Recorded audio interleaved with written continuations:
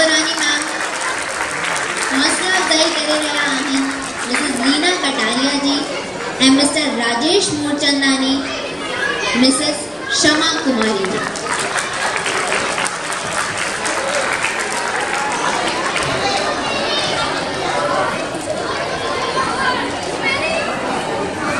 तो जोरदार ताड़ियूं